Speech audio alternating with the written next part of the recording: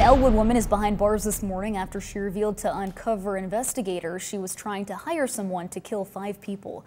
The Nebraska State Patrol tells us 39-year-old Valerie Miller was trying to hire a hitman for the murder plot. She met with the undercover investigator who she thought was the hitman.